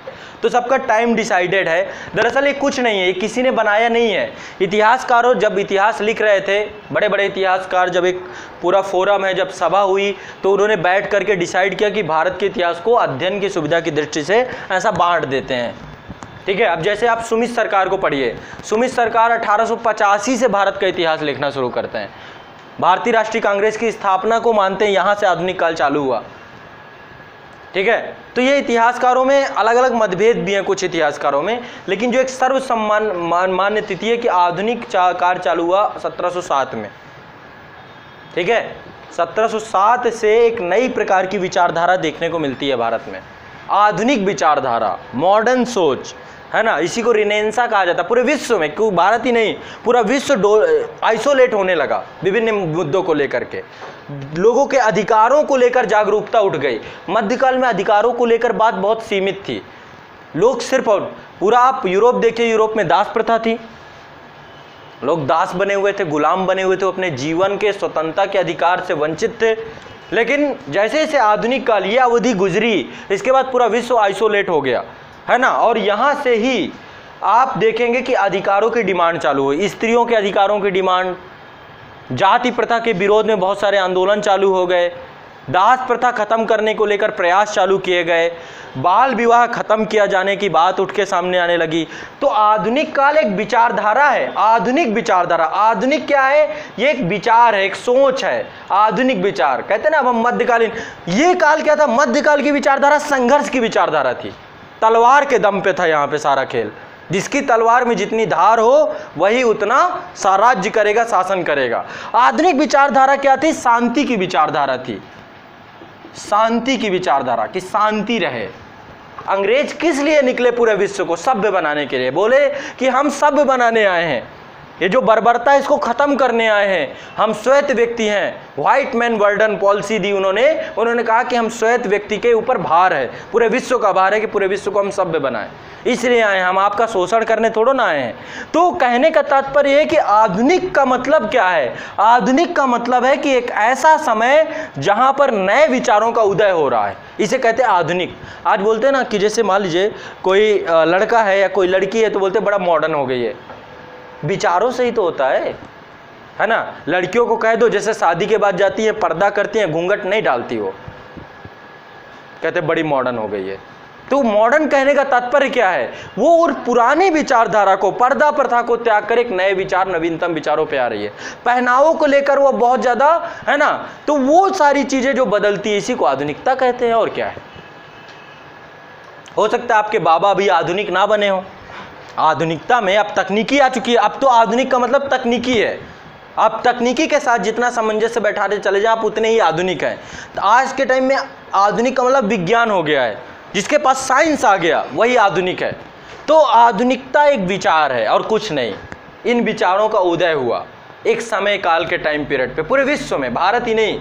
तो जब पूरे विश्व में कुछ विचारों का उदय हुआ, यही आधुनिक काल है। और क्या है? इसी के बारे में आपको जानना है, पढ़ना है। इसी समय की समस्याएँ देखना है, घटनाएँ देखना है। इसी समय बहुत सारे लोग भारत आए, भारत पे शासन करने की सोच लेकर के आए, उनको पढ़ना है। इसी समय पे बहुत सारे लोग भारत में थे तो जो लोग आए, उनके प्रसाद अभी कल मैच हुआ था ना? हाँ। देखो, आधुनिक काल में बड़ा इजीली आपको समझा दूँ। मुझे तो बहुत टाइम नहीं लगेगा समझाने में। आधुनिक काल में मतलब बहुत इजी तरीके से समझे क्रिकेट मैच लेकर के समझते हैं। है ना? तो यहाँ पे त्रिकोणीय श्रृंखला है। तीन मैच हुए, तीन तरह की टीमें थीं। एक त्रिकोणीय श्रृंखला, एशिया कप हो रहा था। एक एक टीम थी यहाँ पर, एक टीम थी अंग्रेज़ों की। अंग्रेज़ आए। देखो, बहुत कम समय में आप पूरा समझ जाओगे। ठीक है? अंग्रेज़ आए, बाहर से थे। बाहर की टीम थी, ब्रिटेन की टीम भारत आई। दूसरी टीम थी यूरोपियों की। यूरोपीय बहुत सारे भारत आए। इनकी टीम थी अलग। है ना? यहाँ पे कई टीमें खेलने आई। पहले आई पुर्तगाल की टीम। है ना? फिर इसके बाद दूसरी टीम आई डेनिस वाली। फिर आई आपकी, नहीं, डेन आए, नीदरलैंड से डेन, डेनमार्क वाले। इसके बाद नेक्स्ट आपका आए, डेनिस आए। अंग्रेज़ आ चुके हैं, अंग्रेज़ इसके बाद, पुर्तगाल के बाद, ठीक है? डेनिस आए उन्नीस सोलह सोलह में। इसके बाद आपके, डेनिस के बाद आपके आए फ्रांस, फ्रांसीसी आए, एक टीम फ्रांस से आई। एक टीम और आई थी, स्वीडन से आई थी, उसका ज़्यादा नाम वो अफ़गानिस्तान वाला हाल हो गया उसके साथ। ठीक है तो ये टीमें थी यूरोप की, और एक टीम भारत की थी। भारत की भी एक टीम थी। भारत में बहुत सारे लोग कह रहे थे, हम अलग अलग मैच खेलेंगे अपना अपना अंग्रेज़ों, यहाँ पे भारत में जो टीम थी, इसमें थे मुगल थे अलग। वो कह रहे थे, हमारी अलग टीम रहेगी। है ना? मराठे बोल रहे थे, हमारी अलग टीम रहेगी भाई। हम आपके साथ नहीं खेलेंगे। ठीक है? तो सबकी अलग अलग टीमें थी यहाँ पे। हैदर अली, टीपू सुल्तान, वो अलग टीम बनाए हुए थे। तो ऐसे करके भारतीयों की एक अलग टीम थी। तो पहले मैच हुआ इनके और इनके साथ, यूरोपियों के साथ। पहले बोले इनसे निपटेंगे। तो इनमें पहले अंग्रेज़ों ने पुर्तगालियों को निपटाया, डेन को निपटाया, डेनिस को निपटाया, फ्रांसीसी को निपटाया, स्वीडन को निपटाया। जब इनसे मैच जीत लिए तो फिर आए भारत वालों के साथ। इनसे मैच खेलना चालू किया। इनसे मैच जब खेले तो इनको भी जीत लिया, इनको भी ख़त्म कर दिया। अब बचे अकेले तो फिर आमिर खान का जन्म हुआ। है ना? और फिर बोले, फिर क्रिकेट मैच होगा। जब आप आए थे, तब जो है वो वाला टाइम पीरियड पे हम क्रिकेट का ज़्यादा नॉलेज नहीं रखता था, है ना? ये मध्यकाल के लोग थे तो आमिर खान ने फिर से मैच करवाया। और उस मैच में फिर भारतीय जीतना, जिसके टीम के बहुत सारे मेंबर थे। एक भारतीय राष्ट्रीय कांग्रेस थी। फिर मैच चालू हुआ। देखो, इसमें क्या हुआ? ये बन गई, इसको मिल गया वर्ल्ड कप ये बहुत समय तक राज करने लगे। फिर एक टीम बनी। उस टीम में बहुत सारे लोग निकल के आए। महात्मा गांधी को कैप्टन बनाया गया। बस यही तो है, और क्या है, आधुनिक भारत का इतिहास। ऐसे ही खेल खाल खत्म कर लो। अब मैच बहुत सारे हुए, एक मैच में नहीं काम खत्म हुआ। पहले होते थे पंद्रह पंद्रह सोलह सोलह लीग मैच हुए। छोटा युद्ध हुआ, अब गांधी ने तीन मैच खेले। पहले बोला, असहयोग आंदोलन, पहला मैच। दूसरा सभी ने अवज्ञा। तीसरा गांधी कई बार चोटिल हो जाते, जेल डाल दिया जाता था उनको। इसके बाद जो है, फिर इसके बाद भारत छोड़ो भारत छोड़ो के बाद फिर बीच में फिर टीम में भी गठबंधन वो फूट पड़ गई। सुभाष चंद्र बोस ने अलग पार्टी बनाई। वो चलेगा हिटलर के पास, जर्मनी से बोले कि आपके यहाँ के खिलाड़ी अच्छे हैं। है ना? जर्मनी से, इटली से, फिर जाके सिंगापुर में फौज बनाई। फिर अलग टीम आई। तो ओवरऑल ऐसे करके अब यही आधुनिक भारत के इतिहास, और क्या आधुनिक भारत के इतिहास? खत्म? कहानियाँ हैं, घटनाएँ चार बातें हैं, वही हमें लिखनी है, वही हमें पढ़नी है। एक क्रिकेट मैच था बस, सिंपल और आसान भाषा में। अब इसको जो है डिटेल से पढ़ने में लग जाएगा टाइम। मैं देखिए, जब कभी नया सब्जेक्ट चालू करता हूँ तो थोड़ा सा पहले ग्लूकोज और दुनिया भर की चीज़ें पी पा के कि भाई शुरू किया जाए कि नहीं शुरू किया जाए। दिक्कत होती है, एक ख़त्म करता हूँ, दूसरा चालू हो जाता है। तो अब आधुनिक भारत है, मुझे भी थोड़ा सा कॉन्फिडेंस इसमें चाहिए। पिछली बार मुझे तीन महीने लग गए थे। इस बार जस्ट आधा टाइम के कोशिश करनी है कि आधा टाइम में उतना ही पूरा सेक्शन कंप्लीट कराना है। ठीक है? खाना पूर्ति मैं कराऊँगा नहीं। हाँ नहीं तो कराने के लिए तुम्हें एक दिन में दो दिन में, तीन दिन में भी ख़त्म करने को हो सकता है, लेकिन खाना पूर्ति नहीं होगी, हर चीज़ डिटेल से होगी, बहुत अच्छे से, ज़बरदस्त तरीके से। ठीक है तो अब जो है, आपको 1707 के बाद की घटना से मैं कहानी को शुरू करूँगा, जिसमें बहुत सारी कहानियाँ आएँगी। ठीक है? समझ में आ रहा है कुछ कि नहीं आ रहा? कि मैं ही समझ रहा हूँ। हाँ आप लोग हाँ? अच्छा मैथ से अच्छा मैथ से अच्छा समझ में आ गया।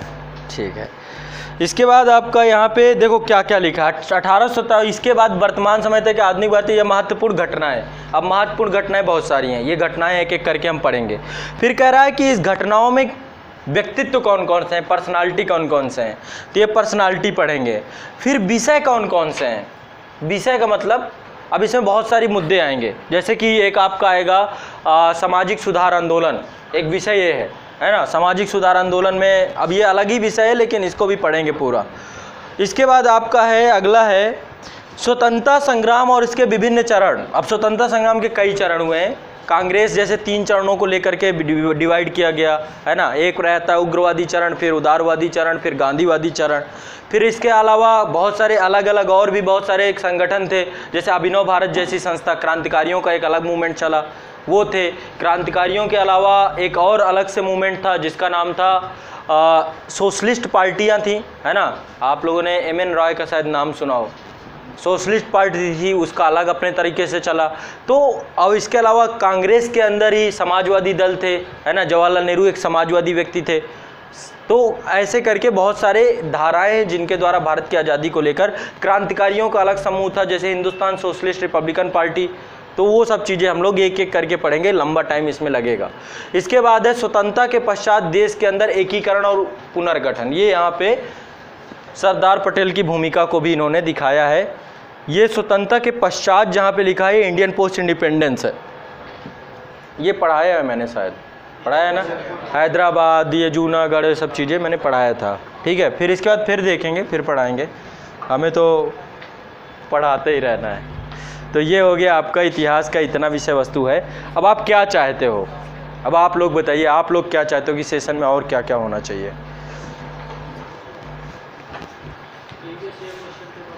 प्रीवियस ईयर क्वेश्चन पेपर तो वो तो होना ही है, वो तो मैं कराऊँगा। अब देखो, इसमें कुछ काम आप करोगे। पहला काम करोगे मेरे साथ साथ 45 दिन का यदि हमारा पूरा सीन क्रिएट हो रहा है, कोशिश करेंगे, दोनों लोग सहयोग करेंगे तो पक्का होगा। मैं चाह रहा हूँ इन 45 दिनों में आप क्या क्या काम करोगे मेरे साथ? पहला काम आप करोगे कि ये लोगे। ठीक है? ये पूरा आप लोगों को कंप्लीट करनी है, पूरी की पूरी घटना चक्र अब ये शायद मेरे ख्याल से मेरे पास सत्रह की है, अठारह, उन्नीस की आ चुकी है। तो आप पूरी की पूरी घटना चक्र करोगे साथ साथ करना पड़ेगा। वचन दो इस बात का कि पूरी घटना चक्र आप डेली का, मेरे ख्याल से दस पेज भी करोगे तो भी चलेगा, कोई दिक्कत नहीं है। दस बारह पेज, दस बारह पेज तो आपका पैंतालीस दिन में एक बहुत बड़ा टॉपिक क्योंकि इतिहास की घटना चक्र सबसे मोटी घटना चक्रों में से एक है। सबसे ज़्यादा मोटी यदि कोई घटना चक्र होगी तो मेरे ख्याल से इतिहास की है। तो इसको आप बिल्कुल मेरे साथ पी जाओ साथ साथ में। पहले आधुनिक से शुरू करना, जैसे ही आधुनिक खत्म हो, मेडिवल और एंशियंट को भी निपटा देना साथ में। तो आपका एक बहुत बड़ा पिलर बन जाएगा इतिहास। इससे क्या होगा, आपके फैक्चुअल डेटा आपका काफ़ी कलेक्ट हो जाएगा और आपको एक आइडिया लग जाएगा कि किन सेक्शन से ज़्यादा इतिहास से क्वेश्चन पूछे जा रहा है। ये काम आप खुद से व्यक्तिगत स्तर पर करेंगे। अब मैं इसे पढ़ाऊँगा नहीं। मैंने एक बार प्रयास किया था, लेकिन लोगों ने विरोध कर दिया था। तो मैं नहीं चाहता कि दोबारा विरोध हो, है ना? तो मैं इसे नहीं पढ़ाने वाला, मैं पढ़ाऊँगा भी क्या? मैं ज़्यादा से ज़्यादा क्वेश्चन बोलूँगा आंसर आप बता दोगे तो वो सब टाइम वेस्टिंग वाली चीज़ है। दूसरा है, आपके पास पिछले साल के क्वेश्चन पेपर होने चाहिए। क्वेश्चन पेपर को थोड़ा सा आपको काम करना चाहिए। जैसे कि देखिए, कुछ क्वेश्चन पेपर मैं आपको यहाँ पर बताता हूँ, ताकि आपको पता चले कि कैसे कैसे क्वेश्चन आते हैं। एक क्वेश्चन आया है आपका, जिसमें यूपीएससी का है, ठीक है? पीसीएस का तो अभी उपलब्ध उपलब्ध नहीं है। तब से कम आइडिया लगे कि हमें किस लेवल का पढ़ना है। नहीं तो मैं पढ़ा के कुछ भी चला जाऊँ, आपका वहाँ पे न फंसे एग्ज़ाम में तो ये भी आपके साथ अन्याय हो जाएगा। क्वेश्चन आया है, भारत में अठारहवीं शताब्दी के मध्य से। सिलेबस में भी अठारहवीं शताब्दी का मध्य लिखा है है ना? तो लिखा है, भारत में अठारहवीं शताब्दी के मध्य से स्वतंत्रता तक, लंबा खींच दिया। 1750 से लेके 1947 तक की बात कर डाली। ठीक है, फिर से एक बार बोलते हैं। भारत में 18वीं शताब्दी से लगभग मध्य मध्य से स्वतंत्रता तक अंग्रेज़ों की आर्थिक नीतियों के विभिन्न पक्षों का समालोचनात्मक परीक्षण कीजिए। अंग्रेज़ों ने किस प्रकार से यहाँ पर इकोनॉमिक स्ट्रक्चर डेवलप किया, उसको लेकर चर्चा करनी। ये है क्वेश्चन अभी बड़ा आसान है, कुछ है नहीं। है ना? वारन हेस्टिंग टाइम से चालू करना है। वारेन हेस्टिंग कब था यहाँ पे? हाँ? सत्रह सौ चौरासी से सत्रह सौ चौरासी में निकल गया था। सत्रह सौ तिहत्तर से सत्रह इसके टाइम पीरियड से ही इजारेदारी व्यवस्था जन्म ली। फिर कार्नवालिस आ गया तो उसने स्थायी बंदोबस्त, यानी कि जमींदारी व्यवस्था, फिर आगे चल के महलवाड़ी, रैयतवाड़ी, पहले तो इसको बताना है आपको। ठीक है?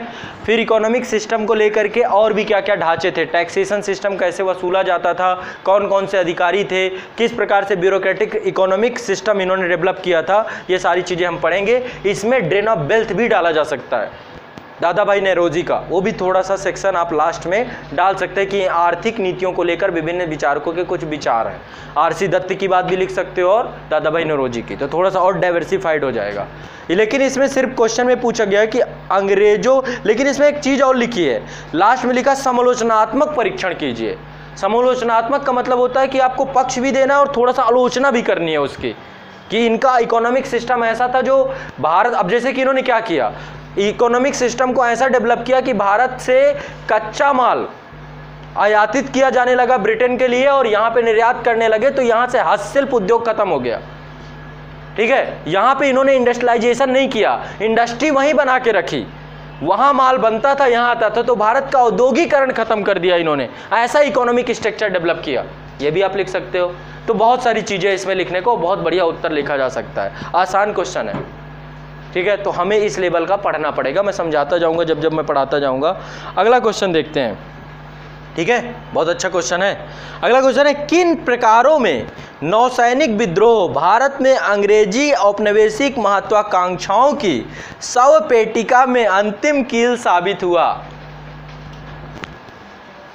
अब जिसकी हिंदी थोड़ी सी भी गड़बड़ है, वो तो गया। जिसकी हिंदी चलो फिर से एक बार, फिर से मैं पढ़ता हूँ। सुनना मुझे अच्छे से। कम से कम मैं इतना अच्छा पढ़ता हूँ कि सुनाई देता है। है ना? पढ़ने योग्य तो सुनो। किन प्रकारों से नौसैनिक विद्रोह भारत में अंग्रेज़ों की औपनिवेशिक महत्वाकांक्षाओं की सव पेटिका में लगी अंतिम कील साबित हुआ था? बताओ, किसको समझ में आया? हम्म हाँ। बोलिए।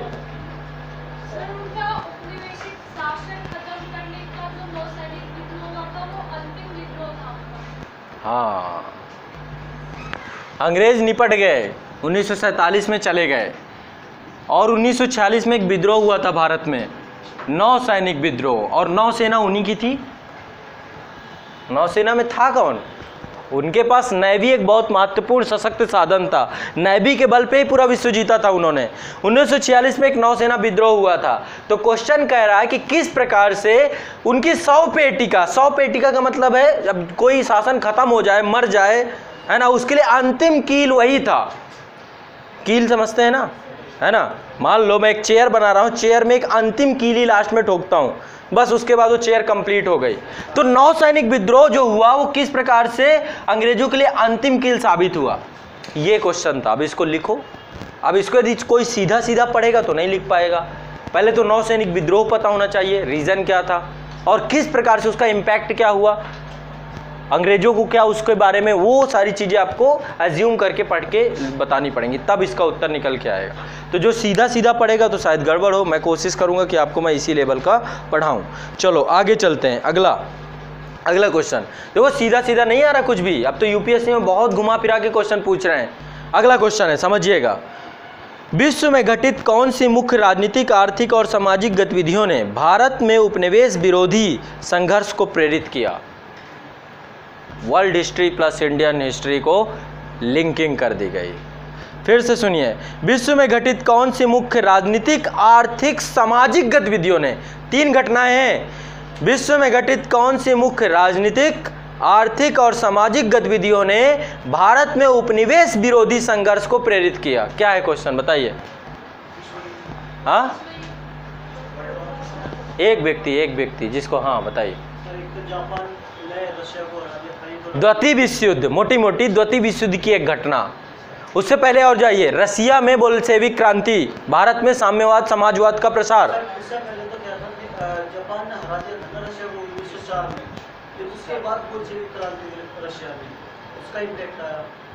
आंग्ल अफगान युद्ध, अफ़गानिस्तान में जब युद्ध हुआ अंग्रेज़ों का, वहाँ पर भी अंग्रेज़ों ने पराजय पाई और उसका भी भारतीयों को लगा कि अब हम हरा सकते हैं इनको। है ना? थोड़ा सा आपको सारे सभी पुटों को लेकर के चलना है। म्यांमार 1935 में अलग हो गया। है ना? सारी घटनाओं को। तो एक एक घटना द्वितीय विश्व युद्ध में ब्रिटेन पूरी तरह से कमज़ोर हो गया।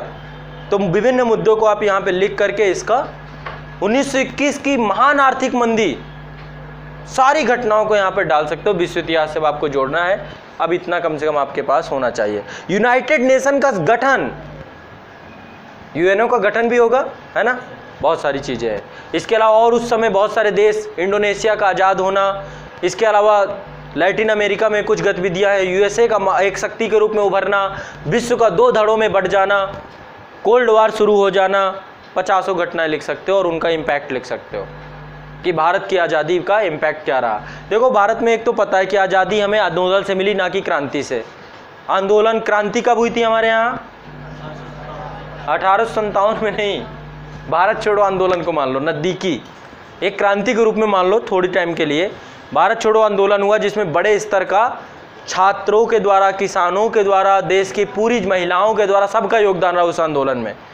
और आज़ाद हुए हम पाँच साल बाद। तो ऐसा तो कोई किसी विश्व में, किसी भी देश में ऐसा कभी भी कोई गतिविधि नहीं हुई कि कोई देश आंदोलन तब करे आज़ाद पाँच साल बाद हो। इतना इतना बुरा रिज़ल्ट तो नहीं आता है कि रिज़ल्ट यूपीएससी की तरह सुप्रीम कोर्ट में फंस गया है ना?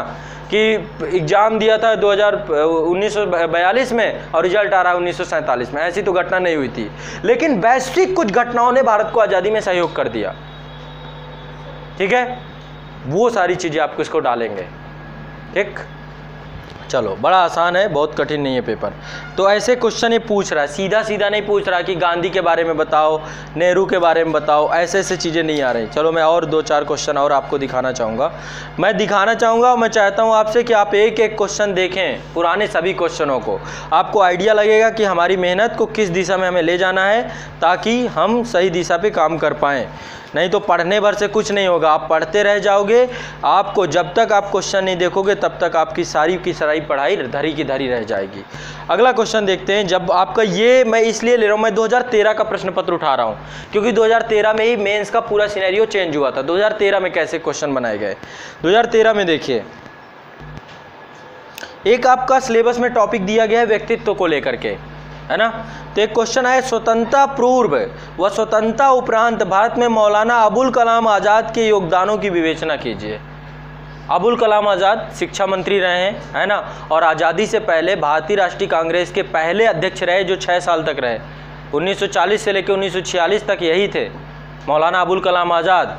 और इससे पहले का पूरा उनका जितना विवेचन है, आप इसमें समराइज करेंगे। यहाँ तक कि शिमला समझौता, क्रिप्स मिशन, बेबल प्लान सब में आज़ाद बैठे रहे। है ना? उस समय कई लोग थे। देखो, जिना थे जिना को लगता था कि वो मुसलमानों के एकमात्र व्यक्ति हैं जो मुसलमानों का पक्ष रखते हैं। और हमेशा जिना यही कहते थे कि भारत में कांग्रेस हमें कुछ नहीं देगा। मुसलमानों को भारत में खतरा है, हिंदू बहुल क्षेत्र है, इसलिए हमें अपना एक नया राष्ट्र चाहिए। द्वि राष्ट्र सिद्धांत को लेके, और एक चीज़ आपको और बताऊँ। ये चीज़ शायद आपको अजीब लगे, लेकिन मैं चर्चा करूँगा। कभी कभी क्या होता है, नेता ऐसा कमिटमेंट कर देते हैं। नेता चाहता नहीं है, लेकिन नेता से कमिटमेंट हो जाता है। नेता कभी चाहता नहीं कि ऐसा वो करेगा, लेकिन कभी कभी ऐसा कमिटमेंट नेता कर देता है कि उसकी मजबूरी, जिना नहीं चाहते थे, लेकिन जिना की मजबूरी हो चुकी थी। यदि वो भारत भारत को दो टुकड़ों में नहीं बांट पाते, पाकिस्तान नया राष्ट्र नहीं बना पाते तो शायद जिना का अस्तित्व खत्म हो जाता। तो नेतागिरी में कभी कभी हम ऐसे वचन बोल देते हैं कि फिर हम फंस जाते हैं। जैसे कि, मैं बड़ा आसान भाषा में आपको समझाऊं, आप में से हमने कहा कि जिना एक बात समझो, आप अकेले व्यक्ति नहीं हो, आप हमेशा ये बोलते रहते हो। जब शिमला समझौता हो रहा था, लॉर्ड बेबल साबन सामने बैठे थे और जब भारत पाकिस्तान विभाजन को लेकर शिमला समझौता विफल होता दिख रहा था तो सीमांत गांधी फ्रंटियर गांधी को आप नाम सुना होगा आपने, है ना? आ, खान अब्दुल गफ्फार खान लाल कुर्ती आंदोलन चलाने वाले। तो खान अब्दुल गफ्फार खान भी थे उसमें। तो बोले तुमको लगता है कि तुम अकेले हो? अकेले व्यक्ति हो जो मुसलमानों का पक्ष रखने वाले हो? हम लोग यहाँ पे खाक छीन रहे हैं। तो जिना क्या थे कि वो मजबूर थे। वो मजबूरी में भी कुछ नहीं कर सकते थे। लियाकत अली खान और बहुत सारे लोग जो है ठीक है। और जिना ने बाद में जब संविधान बना था ना तो संविधान बनने के टाइम पे सम्मिलित तो नहीं हुआ मुस्लिम लीग लेकिन उसके कुछ बाद फिर सम्मिलित हो गए। लेकिन फिर बाद में बैकड्रॉ कर गए। फिर वापस संविधान पढ़ा तो है ना आपने कि संविधान सभा का विखंडन हुआ। विभाजन के बाद फिर से पाकिस्तान के बाद नई संविधान सभा बनी। नई संविधान सभा का मतलब होता है उसका पुनर्गठन किया गया। तो कहीं ना कहीं पे ये सारी चीज़ें आप लोगों को अब ये क्वेश्चन कुछ ऐसा ही है कि आपको अबुल कलाम आज़ाद के पूरे व्यक्तित्व को बताना है कि किस प्रकार से भारत की आज़ादी में और भारत की हिंदू मुस्लिम एकता में और भारत की आज़ादी के बाद किस प्रकार से एक शिक्षा मंत्री के तौर पे उन्होंने काम किया। ये प्रश्न है यहाँ पे। ठीक है ना? चलो। नेक्स्ट आगे कहाँ पहुँचे? कहाँ पे हैं हम? अगला हाँ अगला क्वेश्चन आप कहीं, कहाँ बताएँगे आप? अगला क्वेश्चन देखो, कितना आसान अच्छा क्वेश्चन है, शायद आप लोग इसका उत्तर बताओ। आयु, लिंग तथा धर्म के बंधनों से मुक्त होकर, फिर से, तीन शब्द याद रखिए। आयु, लिंग तथा धर्म के बंधनों से मुक्त होकर आयु, लिंग तथा धर्म के बंधनों से मुक्त होकर भारतीय महिलाएँ भारत के स्वाधीनता संग्राम में अग्रणी बनी। विवेचना कीजिए। अब यहाँ पे अंजलि जी हमें बताएँगी कि भारतीय स्वतंत्रता आंदोलन में पाँच महिलाओं का नाम बताएँगी ये, कि कौन सी पाँच महिलाएँ थी जो भारत की आज़ादी में आगे आके खड़ी हो गई कि भारत को आज़ाद कराना। बताइए। भारतीय महिलाएँ बताइएगा। भाई, महिलाओं से तो इतना तो बनता है, कम से कम वुमेन एम्पावरमेंट तो इधर भी एम्पावरमेंट में कुछ। कौन? झांसी की रानी।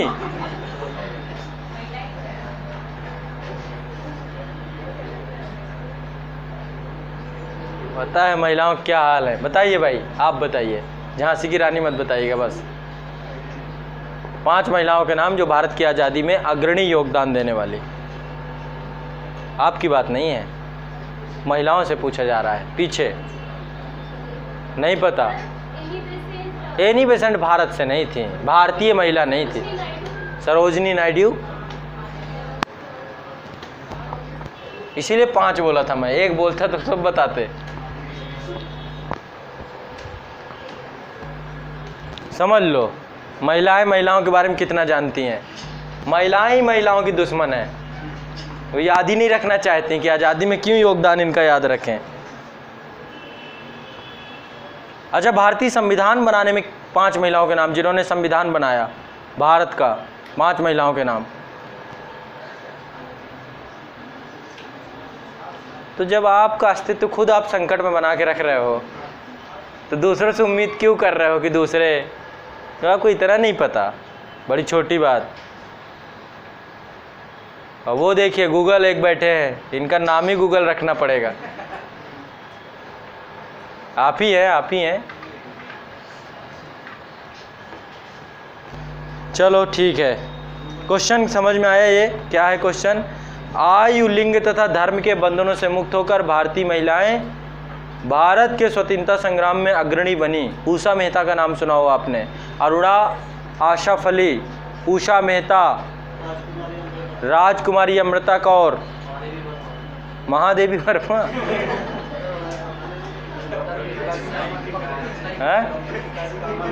भीखा जी कामा। हाँ। बहुत महिलाएँ हैं। और भारत में जब पुरुष जो है, स्वतंत्रता संग्राम गांधी के आंदोलनों में महिलाओं गांधी ने आह्वान किया महिलाओं का गांधी ने आह्वान किया अपने आंदोलनों में महिलाओं का और गांधी के तीनों आंदोलनों में महिलाओं ने महत्वपूर्ण भूमिका निभाई। जो स्वावलंबन के कार्यक्रम थे जितने भी, स्वावलंबन के कार्यक्रम, गांधी ने क्या किया? बहिष्कार किया। महिलाएँ स्वावलंबन के कार्यक्रमों में सबसे आगे रहीं। जब गांधी ने बहिष्कार किया, अंग्रेज़ी ठेकों में महिलाएँ उनके पति पी के आके उनको मारते थे, पीटते थे तो जो गांधी ने जब बहिष्कार किया सहयोग आंदोलन से तो महिलाएँ जो जितने भी अंग्रेज़ी सरकारी ठेका होते थे, उनके बाहर जो है, धरना प्रदर्शन करना, है ना? हर चीज़ में महिलाएँ आके आगे खड़ी हो गई। तो कहीं ना कहीं पे अब ये क्वेश्चन का उत्तर, चलो आगे नेक्स्ट अगला, एक क्वेश्चन और। अब देखो, आप लोग को सोचना चाहिए, आप लोग कहते हो कि आप काफ़ी समय से पढ़ रहे हो, पढ़ रहे हो, क्या पढ़ रहे हो? भारत का इतिहास के बारे में दो, कोई क्वेश्चन ये क्वेश्चन मैं चाहूँगा कोई पूरा बताए, बहुत आसान है। क्वेश्चन लिखिए। क्वेश्चन लिखना क्या है? सुनिए सिर्फ़। अंग्रेज़ अनेक विदेशियों ने भारत में बसकर विभिन्न आंदोलनों में भाग लिया। भारतीय स्वाधीनता संग्राम में उनकी भूमिका का विश्लेषण कीजिए। बड़ा आसान है। अंग्रेज़ अनेक विदेशियों ने भारत में बसकर विभिन्न आंदोलनों में भाग लिया। भारतीय स्वतंत्रता संग्राम में उनकी भूमिका का विश्लेषण कीजिए। एनी बेसेंट का नाम हो गया और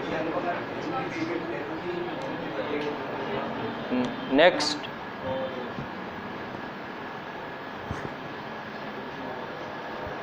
ऐसे से नहीं काम बनेगा। हाँ बिल्कुल सब सही है। खुद भी कुछ योगदान कीजिए। Winston Churchill? नाम गलत आदमी का ले रहे हैं। विस्टन चर्चिल सबसे खतरनाक आदमी थे। लॉर्ड रिपेन, भारत में बस के। कौन था लॉर्ड रिपेन पता भी है? वो क्यों भारत के आंदोलन पे भाग लेंगे? स्वतंत्रता आंदोलन से पहले थे वो। स्वतंत्रता आंदोलन 1885 से चालू होता है भारत का। लाल डफरिन के टाइम पीरियड पे। रिपिन अठारह सौ इक्यासी में थे हाँ? किस? हाँ अब दिमाग खुल रहा है। George Yule.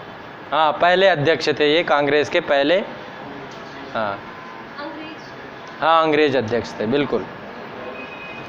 चलो, एक अच्छा अगला क्वेश्चन आचार्य विनोबा भावे ने भूदान व ग्रामदान आंदोलनों के उद्देश्यों की समालोचनात्मक विवेचना कीजिए। अभी विनोबा भावे ने भूदान आंदोलन आज़ादी के बाद चालू किया था।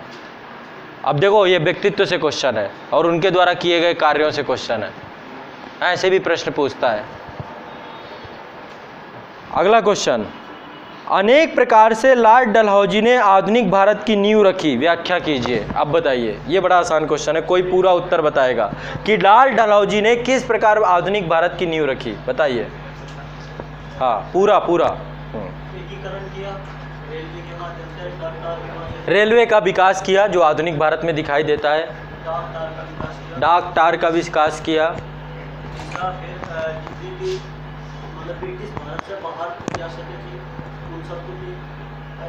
रियासतों का एकीकरण किया।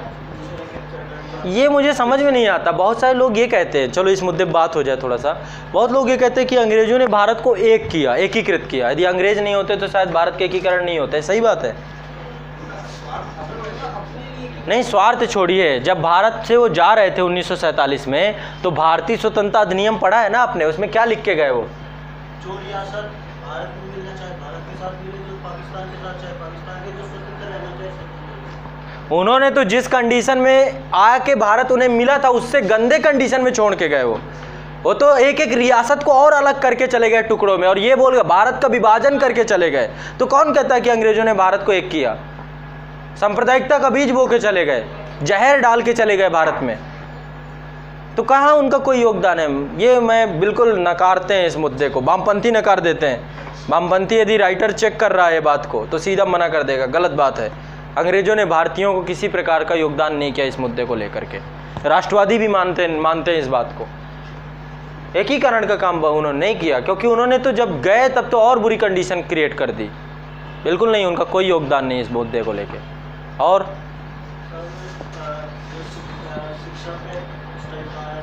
वुड शिक्षा पे वुड डिस्पैच हाँ और एक प्रतियोगिता के माध्यम से सिविल सर्विस का हो गया था हाँ? कार्नवालिस के टाइम पे वो सिविल सर्विसेज़ का जनक कहा जाता है। लेकिन 1800 सौ बुड डिस्पैच के बाद शिक्षा उसको जो है भारत और इंग्लैंड में एक साथ कराए जाने का प्रस्ताव जो पारित हुआ। चलो ठीक है, चलो मोटा मोटी पता है, बाकी मैं पढ़वाऊँगा, बहुत ज़्यादा। अगला, ये क्वेश्चन आपको शायद मुझे लगता आ जाएगा। देखो, किस तरह का क्वेश्चन यूपीएससी पूछता है। जय जवान, जय किसान, नारे के उद्भव और महत्ता पर समालोचनात्मक लेख लिखिए। इंडियन पोस्ट इंडिपेंडेंस का है ये, लेकिन है तो इतिहास का। फिर से, जय जवान, जय किसान, नारे के उद्भव और महत्ता पर समालोचनात्मक लेख लिखिए। उद्भव कैसे हुआ इस नारे का?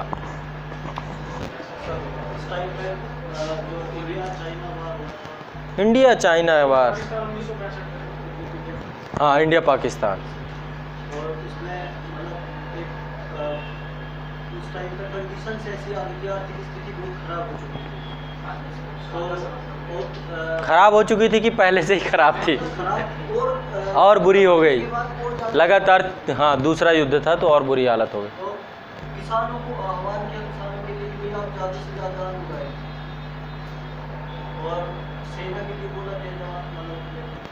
खाद्य सुरक्षा को लेकर के खाद्य संकट चल रहा था देश में, और भारत ज़्यादातर किसके प्रति निर्भर था? अमेरिका के प्रति। उस समय अमेरिका साथ दे रहा था पाकिस्तान का। उन सब सिनेरियो को ध्यान में रखते हुए जवाहरलाल नेहरू उस समय लाल बहादुर शास्त्री साहब ने ये नारा दिया और बोला कि हमारे देश के किसान और हमारे देश के जवान भारत की गरिमा को, भारत के लोगों को भूखा नहीं सोने देंगे और उसी समय उन्होंने ये भी आह्वान किया था कि हम एक टाइम खाना खाएँगे, है ना? एक टाइम का खाना जो है बचा के रखेंगे। तो कुछ ऐसा जो है यहीं से पूरा जय जवान, जय किसान और उस समय का सिनेरियो पूरा आप लिखेंगे। वही सारी चीज़ें हैं इस उत्तर में। अब ऐसे क्वेश्चन आ रहे हैं, बताओ, क्या करोगे आप? ये इस लेवल के, अभी तो मेरे पास है, किसी के पास पिछले साल के क्वेश्चन का भी लाया है। लेटेस्ट हाँ लेटेस्ट में आपको कुछ चीज़ें दिखाता हूँ। 2018 तक के क्वेश्चन है। ज़रूरी है, क्योंकि आप तो देखोगे नहीं। तय है, आप लोग देखना, किसी ने देखा है? हाँ? देखा है? हाँ बताइए, क्या देखा है? हाँ? क्वेश्चन कैसे हैं? क्या देखा क्वेश्चन में? नहीं नहीं, मैं मैं ढूंढ लूँगा। आप टेंशन क्यों ले रहे हो? मैं ढूंढ लूँगा, बिल्कुल सही जगह। आगे पीछे मत बताओ मुझे। ये है अगला क्वेश्चन चलो, ठीक है, मैं क्वेश्चन आप लोगों को अभी नया नया बिल्कुल ताज़ा ताज़ा क्वेश्चन जो है, वो सारा बताता हूँ। यहाँ पे इसमें यूपीएससी का है ये मेंस एग्जामिनेशन का क्वेश्चन जो है 2018 का है। ठीक है? अब क्या कर दिया है? दस नंबर का क्वेश्चन कोई पूछ रहा है, कोई कुछ का पूछ रहा है। एक क्वेश्चन था आपका, इस पर सिमुलेटेड पूरा बना दिया इस पर भाई, बताइए, कैसा क्वेश्चन पूछा है? इनको पता भी है यूपीएससी वालों को, कि हिस्ट्री में ये नहीं आता है साइंस एंड टेक नहीं आता। अभी दिखाऊँगा आपको, देखो कितना बढ़िया क्वेश्चन कहाँ से कहाँ डाल दिया। अगला नेक्स्ट अगला क्वेश्चन है, भारत के इतिहास की पुनर्रचना में चीनी और अरबी यात्रियों के वृत्तांतों का आकलन कीजिए। आसान क्वेश्चन है। किस तरीके से चीनी यात्रियों ने लिखा, अरबी यात्रियों ने लिखा? अगला नेक्स्ट वर्तमान समय में महात्मा गांधी के विचारों के महत्व पर प्रकाश डालिए। ये क्वेश्चन का उत्तर बताओ आप। वर्तमान समय में महात्मा गांधी के विचारों के महत्व का प्रकाश डालिए। 2018 का क्वेश्चन है। गांधी क्यों अभी प्रासंगिक हैं? हाँ। सर अगर हम आज की समस्या हैं बेरोजगारी। बेरोजगारी में गांधी जी ने कहा श्रम का महत्व और श्रम का सिद्धांत उन्होंने दिया था। हम्म। सब कुछ श्रम करना चाहिए सभी आदमी अपनी आवश्यकताओं की जितनी अपनी आवश्यकता है उतना श्रम हर एक व्यक्ति को करना चाहिए। उन्होंने भारी उद्योगों के लिए मना किया कुटीर उद्योगों को बढ़ावा दिया। एक पहलू तो ये दूसरा पहलू उनका आज का संप्रदाय यानी आप कह रहे हैं कि आज की बेरोजगारी की समस्या गांधी दूर कर सकते हैं यदि गांधी की बातों को समझा जाए। हम सेल्फ एम्प्लॉयमेंट के माध्यम से सेल्फ इंटरप्रेन्योरशिप के माध्यम से कुटीर उद्योगों के माध्यम से घर में ही एक व्यापार रोज़गार पैदा कर सकते हैं। ठीक है और उससे हमें बचना चाहिए। अच्छा। अध्यात्मवाद की तरफ़ अध्यात्मवाद उनका ये नहीं था कि जाकर पहाड़ों में उनका अध्यात्मवाद था कि आप संयत रहो। जितनी आपको आवश्यकता है उसी उतना लो। सामाजिक संसाधन गांधी हाँ गांधी का एक सेंटेंस है कि प्रकृति आपकी आवश्यकताओं की पूर्ति कर सकती है आपके लालच की नहीं। है ना? तो प्रकृति में सब कुछ है सबकी आवश्यकताएँ भर सकती है लेकिन यदि आप लालची बन जाओगे तो प्रकृति आपकी पूर्ति नहीं कर पाएगी। बिल्कुल। और अहिंसा का है। अहिंसा वो अहिंसा मतलब कोई ऐसा छोटा मतलब कुछ बड़ा है। आपका अपने प्रति किसी दूसरों के प्रति गलत सोचना समाज के प्रति या किसी धर्म के प्रति गलत लेना ये भी उनका एक मतलब अहिंसा का है काफ़ी सामाजिक सद्भाव बना रहे और तीसरा उनका जो था एक, ये था धर्म, जो आज हम देखते हैं कि धर्म, उनका ये धर्म था जो आज का है वो प्रिंसिपल्स मानते थे कि भाई उनका जो बेसिक कॉन्सेप्ट है, वो क्या है? जो जो बेसिक कॉन्सेप्ट था, सिर्फ़ वो उन्हीं की बात करते थे, ये जो कर्मकांड की पद्धति थी उसको मना करते थे। तो इससे भी कहीं ना कहीं आज की जो सामाजिक स्थिति है उसमें सुधार होगा। और दूसरा उनका जो राजनीतिक स्ट्रक्चर था हाँ बिल्कुल बिल्कुल बिल्कुल। पॉलिटिकल स्ट्रक्चर उन्होंने कहा कि ऊपर से नीचे नहीं आना चाहिए। मतलब अपवर्ड टू डाउनवर्ड आना चाहिए डाउनवर्ड टू अपवर्ड चलना चाहिए। उन्होंने कहा क्या कि आप गाँव में एक पंचायत बनाए। पंचायत में पाँच व्यक्ति हर साल एक व्यक्ति चुना जाना चाहिए। और वही वही पंचायत आपके न्यायिक कार्य भी करेगी आपके विकासात्मक कार्य जो भी कार्य करेगी वही करेगी। उसके ऊपर ताल्लुक ताल्लुक हो ग्राम समूहों से मिलकर ताल्लुक करेंगे तब ताल्लुक समूहों से मिलकर जनपद बनेंगे। जनपद समूहों से मिलकर प्रदेश बनेंगे और प्रदेश से इंडिया बनेगा। पंचायती राज व्यवस्था गांधी से प्रेरित भी है। डीपीएसपी में रखा गया ना इसको? बिल्कुल बिल्कुल। चलो ठीक है इतने सारे और पॉइंट बहुत सारे बन जाएँगे इस पे। अगला नेक्स्ट एक और क्वेश्चन है।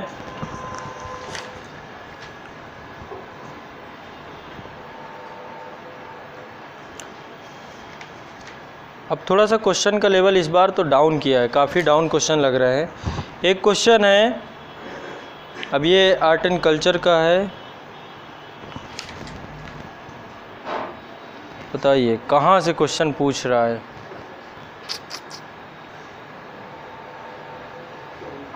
आप लोग एक बार क्वेश्चन ज़रूर देखिएगा भाई। बिना क्वेश्चन देखे कोई भी मेरी क्लास में अब लेकर आओ, आप क्वेश्चन है लाए हो, ये है आप लोग के पास पिछले साल के क्वेश्चन हैं, अभी है, अभी लाए हैं। तो खोलिए फिर 2000 थोड़ा सा खोल ही लीजिए। सत्रह का या आठ, दो हज़ार सत्रह का खोल लो।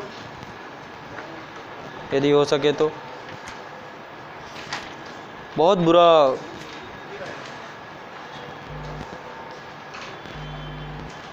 कैटेगरी फाइज हैं आप लोगों के पास।